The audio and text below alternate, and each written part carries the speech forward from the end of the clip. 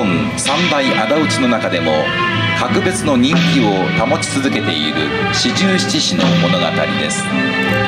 西暦1701年元禄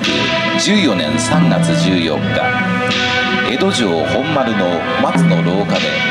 満州赤穂の城主浅野匠の神長則が幕府の儀式祭典などを司る吉良上野介義長に恥ずかしめられたのを怒って刀を抜いて切りつけるという事件が起こりました。これを聞いた五代将軍綱吉は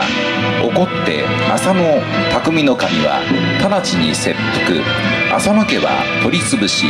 城を明け渡させ領地は取り上げよと命令一方上野之助には傷の養生をせよといたわった。昔から武家の喧嘩は両成敗と決まっているのに不本意だと息巻く者もいましたがそれを抑えたのは浅野家家老大石蔵之助義高でした。穏やかに城を明け渡し山科に移り住んだ後とうとう仇討ちを決心し密かに江戸に入りました。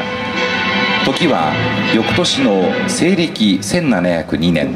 元禄15年12月14日の夜本庄林町の堀部安兵衛の道場や近くの3カ所に集まった四十七人の同士が15日の明け方